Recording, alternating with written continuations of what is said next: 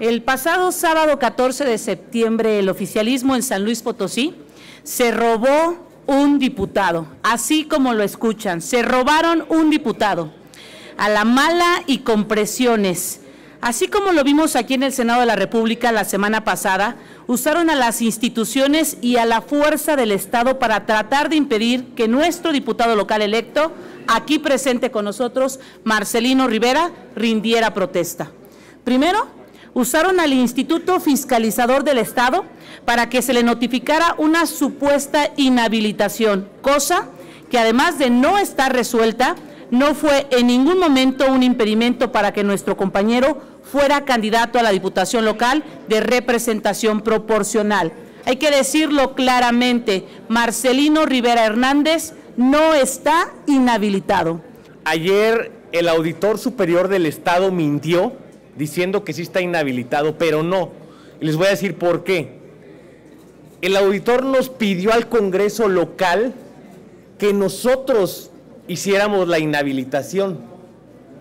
Y nosotros en Comisión de Gobernación y Justicia le respondimos al auditor que no estábamos facultados para llevar a cabo esa inhabilitación.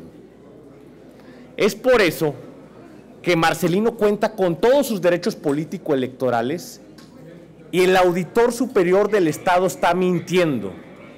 Y por eso estaremos atendiendo todos los recursos legales. Lo que pasó el sábado pasado en la instalación es inédito.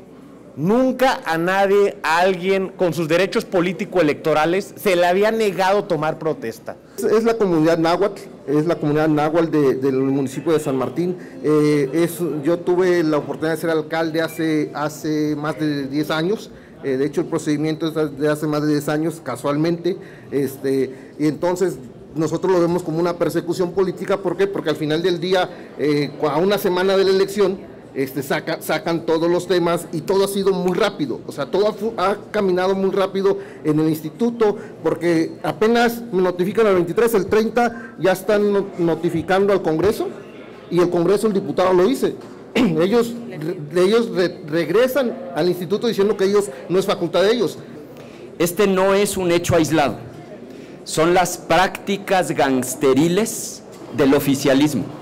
Porque así como aquí en el Senado de la República, a la mala, con ofrecimientos corruptores y utilizando a las fiscalías de los estados, construyeron una mayoría calificada para pasar la mal llamada reforma judicial, de la misma manera, la razón por la que quieren destituir a Marcelino, por la que no quieren que Marcelino sea legislador, es porque ya tienen un acuerdo con su suplente.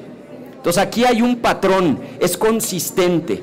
El oficialismo, con prácticas gangsteriles, quiere a la mala construir mayorías. Segundo, el nivel de incongruencia del oficialismo es monumental, porque en este momento se está discutiendo en la Cámara de Diputados una reforma constitucional para el fortalecimiento de los pueblos indígenas. Con una mano proponen una reforma y con la otra lo que intentan es despojar de sus derechos a un integrante de la comunidad indígena que se ganó con votos el derecho de participar en el Congreso del Estado